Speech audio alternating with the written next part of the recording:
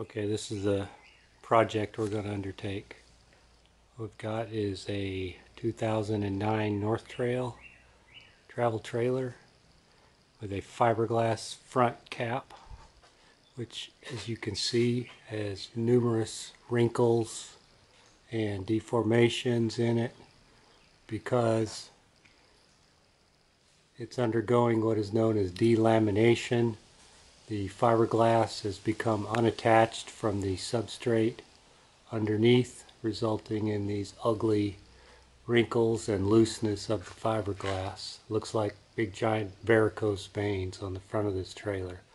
So we're going to be removing the front fiberglass and replacing it with aluminum, which is commonly used in trailer construction nowadays. Uh, why did this happen?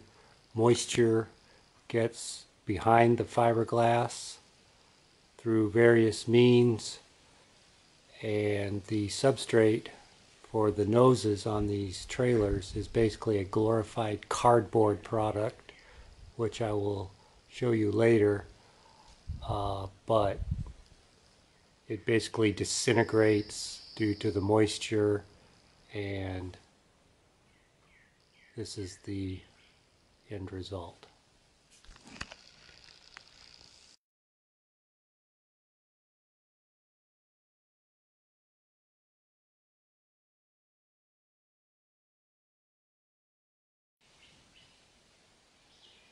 So, the first step in taking this trailer apart will be to remove all the moldings around the entire front nose cap You've got these ones going all the way up the sides.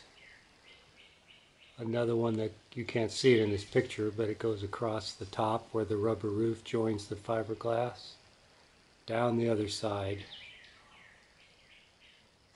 And this molding along the bottom will have to be removed as well. In addition to this light and the two marker lights on the top.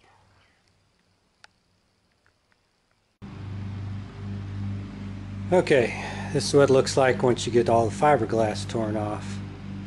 You can see all the aluminum framing of the trailer, fiberglass insulation inside.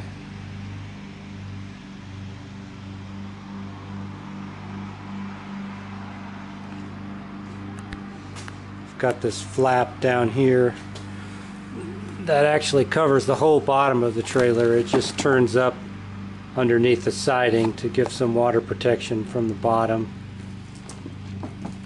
You can see uh, where it was leaking a little bit here. Some of this wood is a little separated.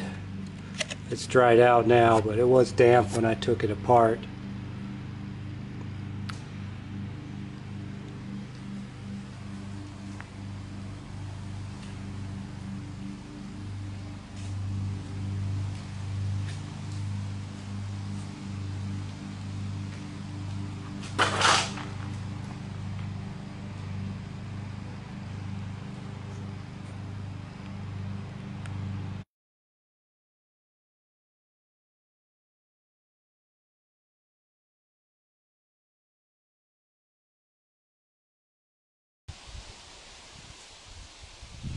Okay, this is the back of the uh, Filon slash Unicor nose cap that was on my trailer.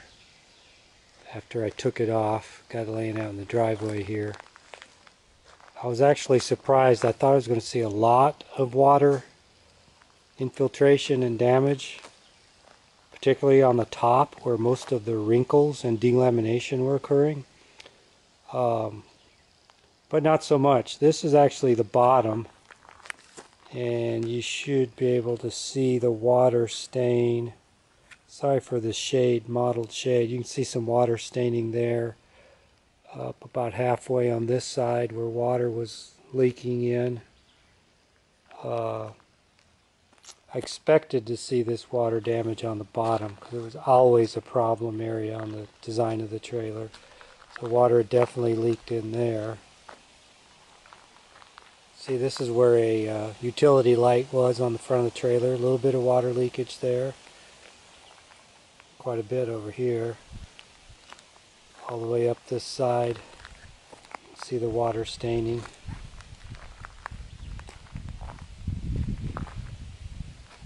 Here's where the marker lamps were. A little bit of water staining there. Same thing on the other side, not quite this bad. Well, it's interesting is that in this middle section, where most of the delamination was occurring, there's very little sign of any water leakage whatsoever. I thought I'd see a lot. So what actually was happening, if I can spin around here, was that the glue is giving way between the backing material and the actual fiberglass as you can see here that it separates quite readily. There's some sort of contact cement in there that uh, is coming loose. And that is what was causing all the wrinkling on the front of this trailer giving it a very ugly look not sure why the glue is coming loose could it be from some of the moisture issues or just the blazing Texas sun but it was definitely coming loose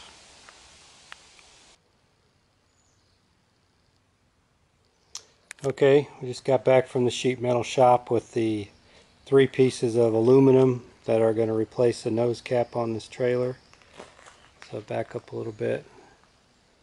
There's one of them there. The other one is laying underneath. They're 4 by 8 sheets of 0.040 inch aluminum.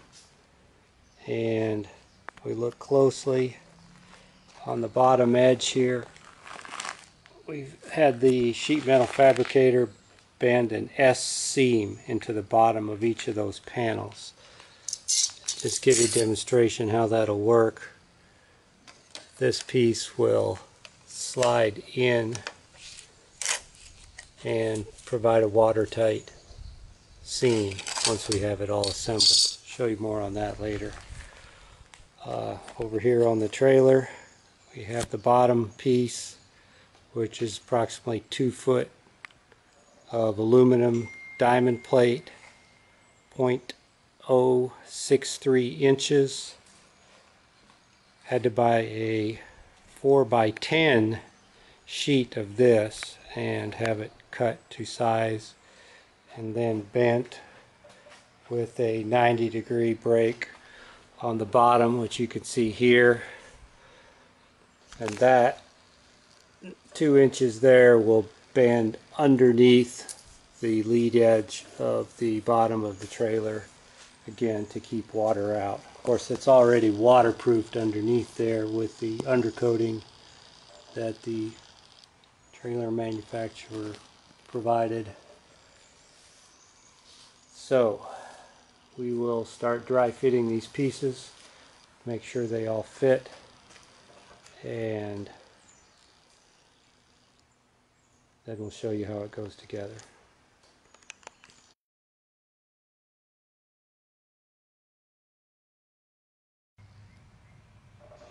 Okay, we're starting to put this thing back together now. So I've got two sections in place, partially. Show you a little bit more about that. But the, here's the, uh, the flange where the S-seam screws to the trailer framing to hold that tight. And then once the two pieces are together in their finished position, as you see this one here, there's the S-seam and all the screws are hidden underneath.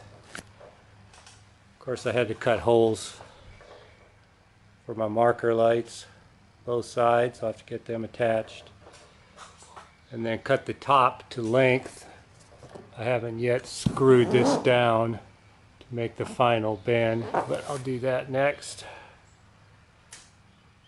So it's coming together pretty nicely.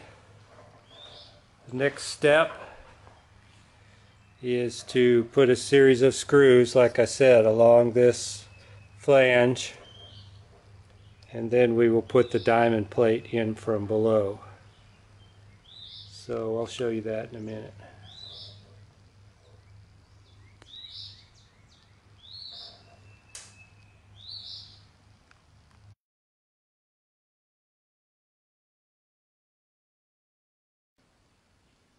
Okay, here's a little better sample of, uh, or depiction of what that S seam is like. This is just a handmade sample I made. So if I turn it sideways, see how that metal is bent in a S pattern. So the bottom part that sticks out below the S is where the screws will, uh, I'll use that flange to, with screws to attach it to the aluminum framing of the trailer to hold these panels in place.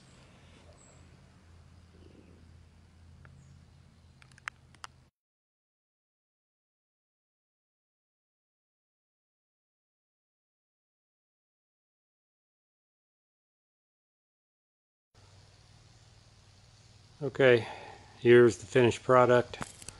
Got all three panels put in. Tread plate on the bottom. Two panels 040 aluminum above that. You can see the seam there in between the two pieces of aluminum. That's been sealed with clear. RV caulking as has been this seam here between the tread plate and the aluminum. Took me all day to do all the caulking and sealing on this thing. It's real tedious. Got to caulk and seal all the way up both edges. Around the marker lights. And of course across the top, which you can't see right now. But it turned out great.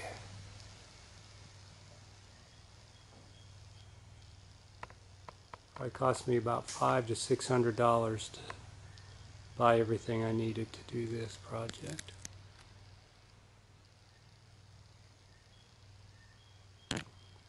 There's the old front laying on the floor, all wrinkled up. Good riddance. So anyway, all that's left to do now is put the graphics back on the front, which we already have propane tanks and the batteries back on and hit the road.